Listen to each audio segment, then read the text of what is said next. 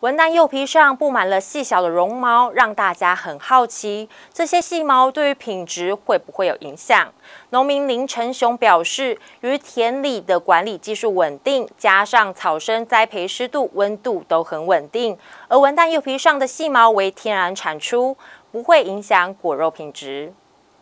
除了众所周知的水蜜桃表皮有许多绒毛之外，瑞士香鹤冈文旦柚园里每颗文旦柚外皮也有长出细毛来，民众个个吃惊，也很好奇，频频向农民求解。毛茸的感觉，对，呃，毛茸毛茸茸的柚子，它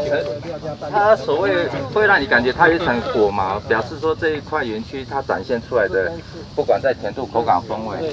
哎，是非常的非常的平稳。肉眼细瞧，隐约可见一层白色包裹着文旦柚外皮。再用手触摸，发现外皮果真布满了细小的绒毛。大家也好奇，文旦柚皮怎么会长毛了？而这一些细毛会不会影响文旦柚的品质？农民林成雄表示，可能因为田间管理的不同而自然产出。其实整个文旦柚它在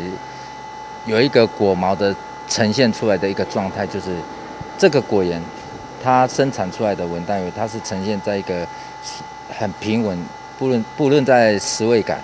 不论在整个水汽、整个水分的充足感、甜度的展现，它都是在一个很平稳的一个状态下。当然，自然在你的果树的果皮上就会生出了一层我们所谓的绒毛，就果毛出来这样子啊。只要这种文旦你摸起来有果毛，我相信这一块的文旦，你的文旦。因它的品质是已经在一个很稳定的水准。花改厂货之后表示，文旦柚外皮上的细毛，就像水蜜桃外皮绒毛或者葡萄外皮的白色果粉一样，都是作物果实自然的产物，而对于果肉品质应该不会有太大的影响。也请消费者多多选购，支持瑞穗乡在地优质的文旦柚。记者石玉兰瑞穗采访报道。